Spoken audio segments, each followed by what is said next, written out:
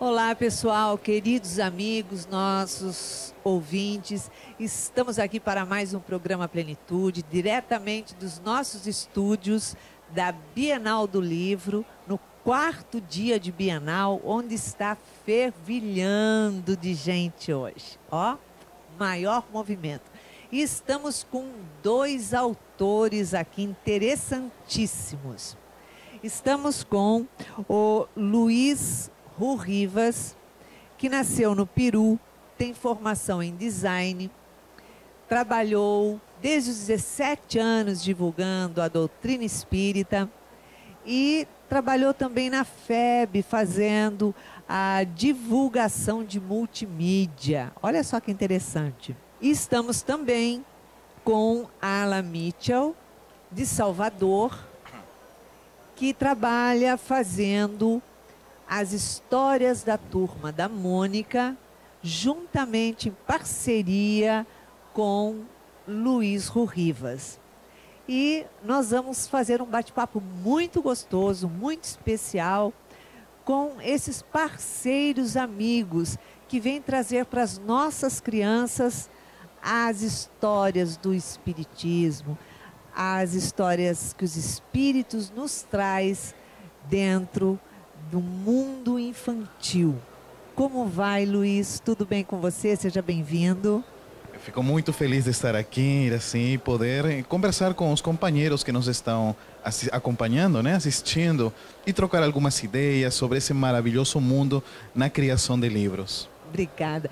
Como vai, Alan? Tudo bem? Seja bem-vindo ao Plenitude. Tudo bem, muito prazer de estar aqui com vocês. É, é uma honra estar aqui podendo trocar um pouco dessas ideias, falar um pouco do nosso trabalho e divulgar a doutrina espírita para essa garotada que está aí sedento de informações. Ah, fala um pouquinho para gente. Você faz as histórias junto com o Luiz é, da Turma da Mônica. Como que é isso? Ah, isso é uma aventura maravilhosa, porque acaba que eu e o Luiz, nós trocamos muitas informações, nós já somos amigos desde 2001, 2002, é, desde Salvador, e viemos trabalhando com a TVC, né, em Brasília, e tivemos a oportunidade de criar algo para a garotada. Então a garotada estava sedenta de informações, nós tínhamos muito material para o público adulto, e finalmente veio a ideia de fazer algo para a garotada. Então surgiu a ideia de fazer um livro para as crianças junto com a turma da Mônica. Então foi fantástico iniciar o trabalho para a garotada com um peso enorme que é essa turminha, que é a turminha mais querida do Brasil. E qual está sendo a repercussão na mão das crianças quando vê a turma da Mônica aí no meio espírita, que é de uma forma diferente agora, né? Sim, sim é impressionante, porque quando nós viajamos para as casas espíritas, para as livrarias, nós fazemos lançamento junto com o Maurício, né? Já fizemos lançamento com a Magali e a Mônica também, né? O ano passado, na Bienal anterior. Então, quando você começa a ver os pais, os olhos brilham dos pais, a criançada vem sorrindo, a maioria deles já conhece toda a turminha. Você pergunta, ah, qual é o mais favorito? Então, ah, Magali, por que a Magali? Só para testar, né? Mas eles sabem, eles sabem que a Magali é comilona, sabe que o Cebolinha fala helado, não fala errado, troca os L's. E eles sabem que o Cascão não gosta de tomar banho. Eles conhecem tudo, tudo da turminha. E a Mônica, né, brabinha, de vez em quando, não pode tocar no, no Sansão, o coelhinho dela. Então, eles são fantásticos. As crianças sabem tudo, elas são amorosas, são sinceras, verdadeiras. E é por isso que nos faz muito felizes. Mexe muito com as crianças, né? Muito, mexe com as crianças, com os pais e conosco, principalmente. É, porque acho que os pais também vivenciaram muito tempo a, a Magali, a Mônica, a Cebolinha. Sim, sim, é verdade. Então, os pais deles, dessas crianças de hoje, aprenderam a ler com a turminha da Mônica. Eu sou um deles. Né? Eu, minha, a minha leitura, minha alfabetização se deu graças, claro, também as, os gibizinhos, lendo os gibizinhos da Turma da Mônica. Então eu lembro de palavras que eu procurava, palavras novas que o Maurício colocava e eu buscava no dicionário. Minha mãe tinha um livrinho do dicionário lá e eu ficava catando essas informações. E de repente, hoje, ter oportunidade imensa, é um prazer imenso você poder levar um pouquinho dessas historinhas para, para as crianças de hoje em dia, essa nova geração que está aí turbilhando, mexendo no celular, tablet e finalmente encontrando livros, livros que enriquecem a alma. Olha que bacana, poxa vida. Luiz, como que foi para você fazer essa experiência com a turma da Mônica? É muito interessante porque o fato de eu não ser brasileiro. É por a isso. minha infância foi Mafalda, Condorito, Chaves. Ah, Não foi Maurício de Souza. Eu lembro que tinha em espanhol Mônica e su pandilha, seria é, como era. Né? Hoje é Mônica e seus amigos. Mas eu lembro que eu olhava, mas não, não tinha aquele eco que tinha outros personagens, né? sim. Quando eu vim no Brasil, observei que isso é um boom aqui, né? São quatro gerações de trás. Conversando com, com Alan, a gente estava na TVC, né? Eh, essa iniciativa de poder entrar em contato com o Maurício, né? O Alan ligou, eu tive a oportunidade de estar com ele pessoalmente, né? E surgiu aquela boa empatia, até porque o Maurício não é espírita. O Maurício é católico, mas a avó do Maurício é espírita. Então ele nos contava que é uma inspiração que ele tinha, né, com as histórias da avó, que ele se acom- acompanhou isso, tinha maior dos carinhos pelo espiritismo, sem ser espírita, né? Mas a proposta inicial foi, já que a gente está com um livro inovador, começar pelo Evangelho. Eh, a gente observa muito que se fala assim de Jesus quando nasceu, quando morreu e tal, os milagres, mas pouco se fala o que ele ensinou. sim. Então vamos trazer esses ensinamentos cruz, aquilo mesmo, o néctar do Evangelho, humildade, caridade, perdão, fé, misericórdia, trazer diretamente para as crianças.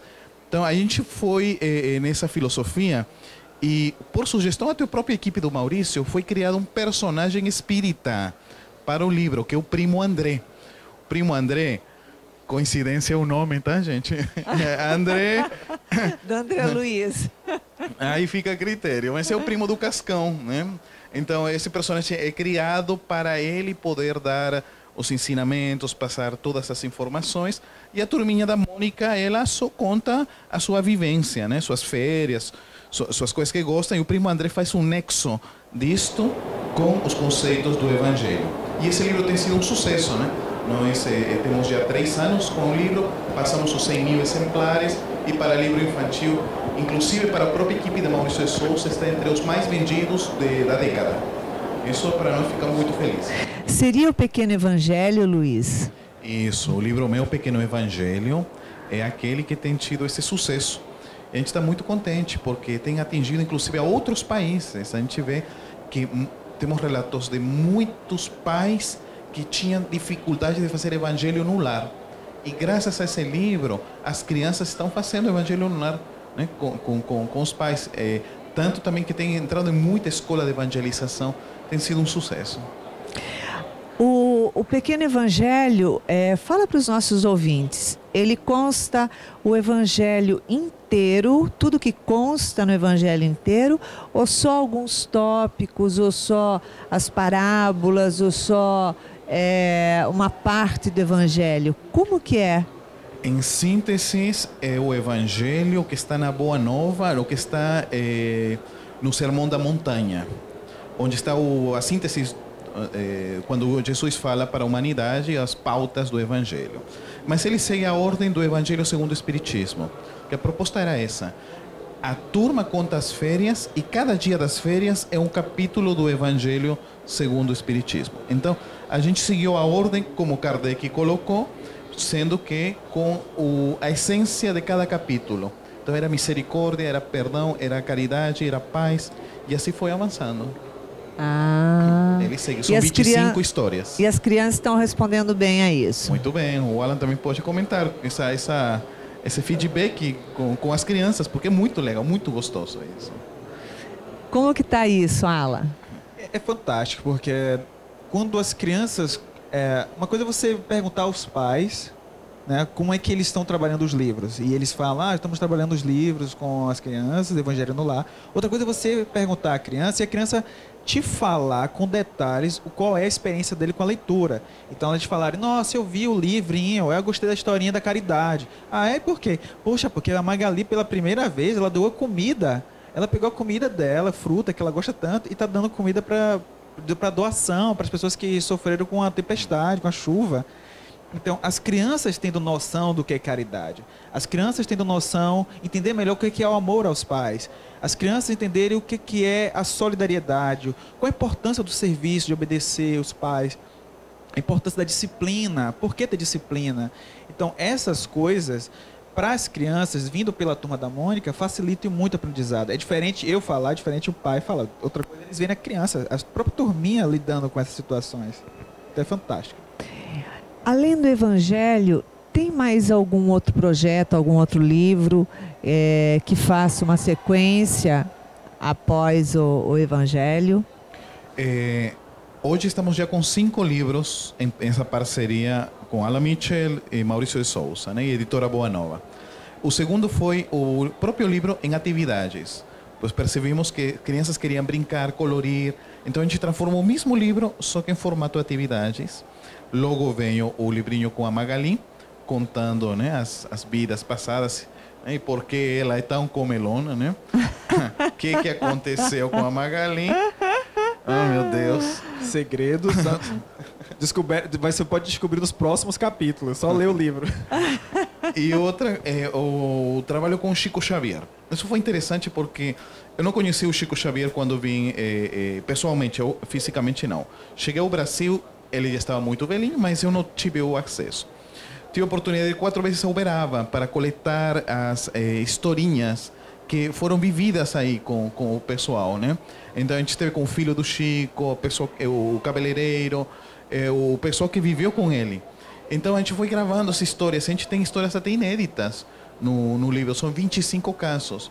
A gente tem percebido que muito pai também está usando o livro para fazer Evangelho no Lar com as historinhas eh, morais, né, que são universais do Chico Xavier. Isso Sim. tem sido muito bom. E agora o lançamento do livro Outro Lar, né, para falar sobre a cidade espiritual aqui, sobre o Rio de Janeiro. Ai, que lindinho, Outro Lar. outro Lar. Ai, que coisa gostosa. E essa historinha vai contando como é o outro lado, né? né? Que é a, a, cidade que vive sobre o Rio de Janeiro. Sobre o Rio de Janeiro. Exatamente. Então, a ideia de outro lá pensa um pouco diferente. É como é que as crianças vão, pro, vão visitar o primo André no Rio de Janeiro, que é a cidade que ele vive. Então, chegando lá, eles têm uma noite tranquila, eles passam o dia todo visitando a, a, os pontos turísticos do Rio de Janeiro. E aí chegou um momento, estão cansados, vão dormir. Quando eles dormem, no outro dia eles começam a falar: Nossa, eu tive um sonho, eu sonhei com um lugar diferente, um lugar bonito, um lugar esquisito até. E aí eles começam a revelar quais são os detalhes desses sonhos. E engraçado que todos eles têm o mesmo sonho, têm sonhos semelhantes. E aí nesses sonhos, o primo André convida: Olha, fazer aquela brincadeira? Vocês me contam como é que é o sonho de vocês? E aí eles começam a revelar. Nessas revelações, eles começam a falar de coisas relacionadas tipo: ah, eu vi um hospital nesse meu sonho. Ah, eu vi uh, portões. Meu, meu mundo ideal seria um mundo com um muro onde eu seria o rei, o Cebolinha falando, né? Já outros falam assim: nossa, eu pensei em voar, volitar. Então você começa a ver elementos né, passando para as crianças elementos relacionados ao mundo espiritual, esse mundo maravilhoso que nós conhecemos através das obras espíritas e principalmente na cidade que está acima do Rio de Janeiro. Que bacana, que interessante. E eles vão tendo a noção que existe um mundo né, além da vida, uma continuidade, sim, né, sim. e que vai, vai acontecer, ou seja, a vida não acaba. Exatamente. Né, é, uma, é uma experiência que a gente vai colhendo na medida que a gente vai trabalhando, divulgando, fazendo palestras. Tem uma é, companheira que veio e me falou assim: Olha, meu filho, é, perdão, minha amiga tem um filho, ela não é espírita, mas deu. É, a menina estava entrando na sala, na, no, na, no quarto, pegava uma sacolinha, colocava uns brinquedos antigos, ia na porta colocava a sacolinha. Logo voltava no quarto, pegou uma roupinha que tinha, colocou na sacolinha e foi de novo na porta, deixou aí. Voltou no quarto, pegou outras coisinhas, uns úteis escolares. E, e ele perguntou, menino, o que está fazendo aí? A menina disse assim, ah, mãe, eu estou fazendo é, é, o que está escrito no livro. Que livro? O meu pequeno evangelho, porque lá é que a Magali, eles fazem a caridade. Então eu aprendi isso com, com, com eles. Ah, que eu achei assim, nossa, que legal, porque é, a criança absorveu a parte boa né, do, do bem, Sim. independente da religião, da doutrina, da filosofia, mas conseguiu absorver. Então a gente está sentindo que conseguimos colocar um pouquinho né, nesses coraçãozinhos, porque a gente se queixa muito, ah, nós temos corrupção, problemas, mas a gente não semeia. Então, em vez de a gente criticar, vamos começar semeando e aí teremos adultos do bem amanhã. Poxa, muito bacana porque é, eles estão vendo ali na prática, né, no exemplo, e de uma forma muito mais é, na linguagem deles, né? Então é diferente, porque estão vendo é, a, a fantasia, os bonequinhos, as, o que eles imaginam fazendo aquilo que eles deveriam fazer na prática, sendo que no próprio evangelho é muito maduro para a cabeça deles, né? Então você imagina, ah, porque Jesus andou, fez isso, fez aquilo. Ninguém vai se imaginar, né, como um discípulo de Jesus andando, fazendo, curando e nem é, fazendo a caridade como outros. Mas agora no caso de uma turminha da Mônica já é diferente, né? É muito lindinho, muito lindinho. Sim, sim. E, e, é importante porque a turminha da Mônica, ela, nos vários fatores, ele já tem dado seus exemplos, exemplos de brincadeiras, diversão, de valores. Então, você colocar a turminha mais próxima das crianças, colocando esses valores, que é possível fazer isso. Então, a Magali levando a comida para, para doação, é, isso é possível. Então, as crianças começam a pensar que é algo viável, porque está dentro da realidade da imaginação delas. Então, esses livros acabam trazendo um pouquinho para a realidade das crianças que o mundo é é imaginável, o mundo é viável, um mundo melhor é viável, por isso que a mensagem do livro Outro Lar. Um outro lar é viável, desde que você faça por onde, você movimente-se, faça as coisas, tenha bons sonhos, bons hábitos, as coisas podem acontecer e o mundo pode ser melhor. E é muito importante porque vai, vai criando uma, uma vai, vai lapidando uma, uma índole, a criança, onde ela vai se deparando com uma forma de fazer e praticar o bem, já sendo o bem e contrastando muitas vezes com a posição dos pais, né? Começa a observar o que os pais fazem e já aprendendo ali o que eles fazem junto com a própria historinha, né? Uhum e é, começa a ver esse contraste, eles começam a educar os pais. Sim, porque as crianças observam o tempo todo os exemplos dos pais. Então, em algum momento, eles vão questionar, eles vão perguntar, eles vão se perguntar, vão perguntar aos pais também por quê falando isso. Então, assim, os exemplos. Por isso que a obra, por exemplo, Chico Xavier e seus ensinamentos são exemplos de amor do Chico, que é possível que em cada momento, simples hábitos do dia a dia, é possível dar, assim, bons exemplos de amor, como a gente conhece da história do Chico, só que dessa vez para as crianças. As crianças vão saber disso. É, porque não tem nada, nada do Chico é, exatamente para crianças. Quer dizer, só vai saber alguma coisa do Chico quando você virar adulto. Essa foi a preocupação, porque eu percebi diretamente com meu filho. Ele já tinha passado os 15 anos e ele, Chico Xavier, tipo, ficou um mito, algo distante. Então, a falar do Chico, eu falei, gente, Chico está morrendo porque está ficando na cabeça só dos mais velhos. Os mais meninos não sabem quem é o Chico. E não tanto o Chico, o médium, porque temos a obra, mas o Chico, a pessoa, a, a, a, o, o, talento, a, amorosidade do Chico, está, está ficando aí. Só os mais antigos sabemos. Então, ao trazer o Chico de novo, estamos trazendo aquele cunho material tão forte que o Chico tinha, aquele cunho moral, para as gerações. Eu, se me permite falar uma experiência, eh, a gente fez um teste com um Evangelho no Lar com duas crianças, usando o livro do Chico Xavier. Né? A gente comecei com os meninos, né? vamos fazer Evangelho no Lar. Aí em casa, né, os meninos falavam assim: ah, não, peraí evangelho não pode ser chato, evangelho tem que ser legal. Porque se você vai mal predisposto, você está bloqueando o conteúdo de luz. Mas o que, que vai fazer? O evangelho é chato? Não, não é chato não. A gente pegou o livro do Chico Xavier. Limos uma historinha ao acaso. Aí vocês leram com a Mônica, já prestaram atenção. Foi o primeiro ponto. Então vamos fazer o seguinte, a técnica é esta. Foi que a gente teve essa ideia, né?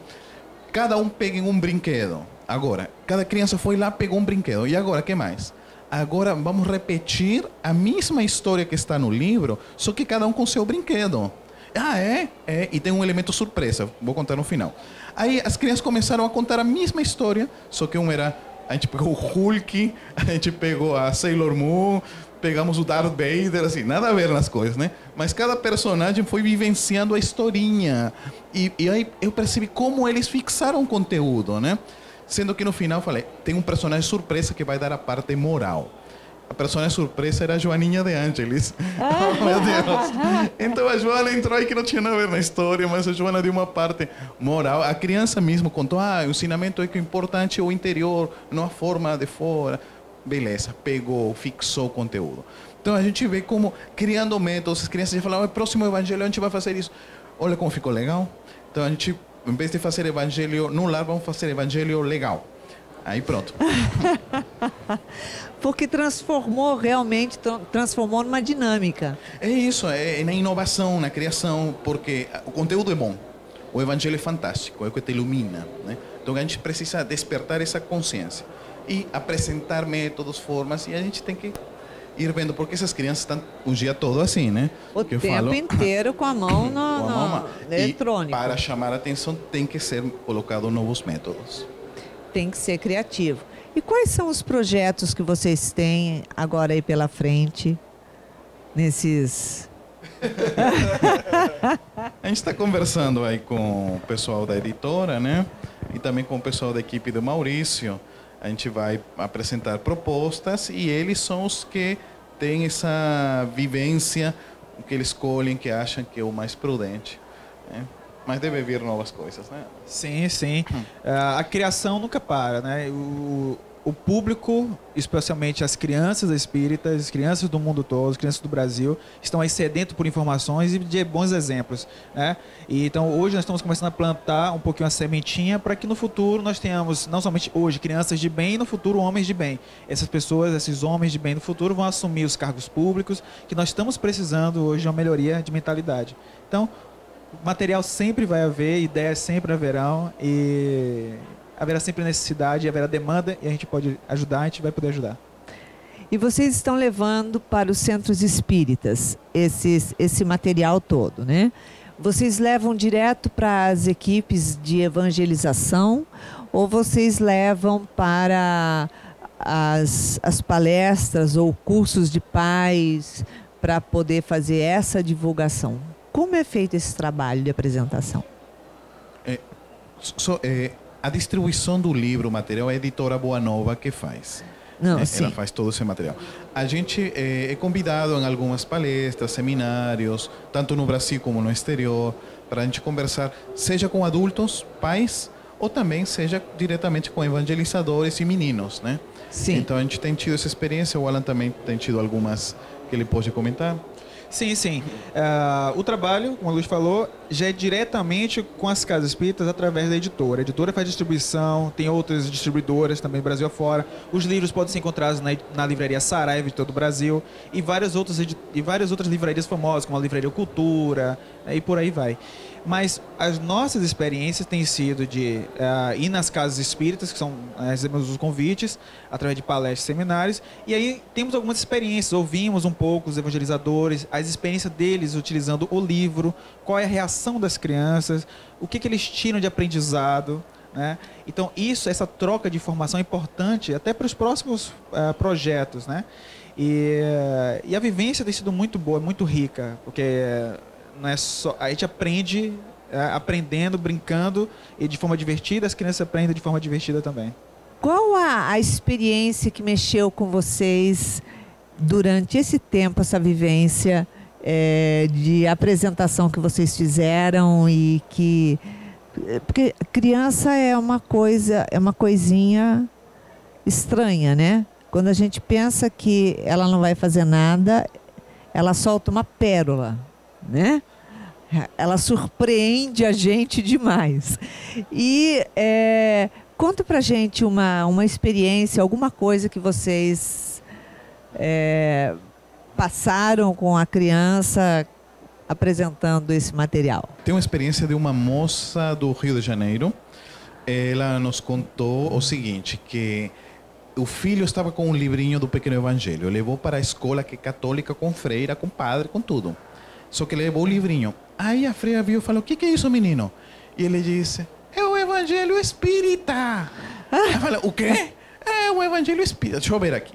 Pegou ela né? e começou todos os dias a pegar um capítulo do livro e ler para os, os alunos da turma. Ah, né? E isso a, freira, a, a, mãe me falou: Luiz, você não sabe, ele está lendo todo dia um capítulo, como o Evangelho Universal caridade, misericórdia, isso é para todo mundo, né? É. Ela começou a ler para toda a, a turminha. Eu falei, puxa, que legal. Semana seguinte, ela me disse, Luiz, o padre que coordena aqui a escola soube dessa história, me chamou, quer uma conversa comigo. Eu falei, ah, não, a gente não quer criar nenhum tipo de problema, né? E eu preocupado com isso. Aí ela foi na reunião com, com o padre pela manhã e o padre eh, falou com ela. Ela me ligou, sabe como foi a conversa? Ele me disse assim: Você, seu filho que trouxe esse livro? E ela falou: É, meu filho que trouxe, assim. A professora está lendo para todo mundo. É, a gente sabe disso. Você como conseguiu? É que eu sou amigo do autor. Ah, é? Ah, é? Você conhece o autor? Conheço. Então, por favor, se diga para ele que me envie um autografado. Porque eu gostei do livro. Aí eu falei, que, que legal, o padre pedindo o livro, né, é, autografado. Então a gente ficou muito feliz é, é mandando para isso, porque é, vemos como as doutrinas em essência somos irmãs. Todos Sim, cristãos, sim, né? sim. Então, ao tocar os princípios, as essências, a gente está em uma convivência muito feliz. É isso aí. Muito bacana, muito prazeroso, né? Essa convivência, essa história.